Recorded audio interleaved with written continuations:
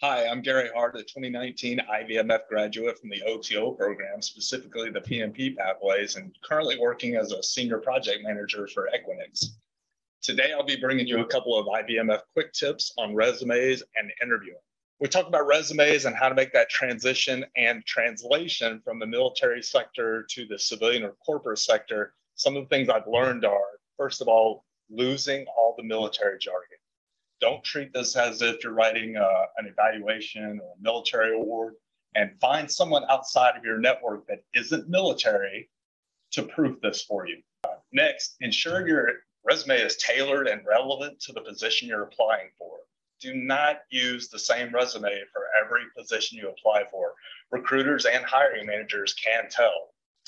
Some of the services out there that actually can help you for free our Hire Heroes USA, Resume for Vets. Uh, you have a plethora of organizations out there that are ready and willing to help you put this resume together.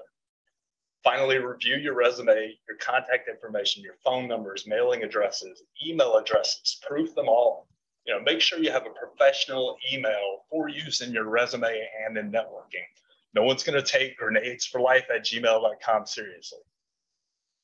Next, we have interviews reviewing the position description, printing out and highlighting is what I do, and studying your resume before the interview is key.